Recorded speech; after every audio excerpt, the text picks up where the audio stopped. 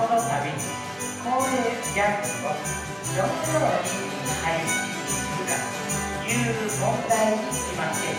慎重に検討を重ねてまいりました結果本日は第4点本命は小樽の大か穴馬は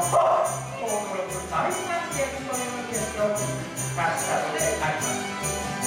過去の現実からセンタープラスの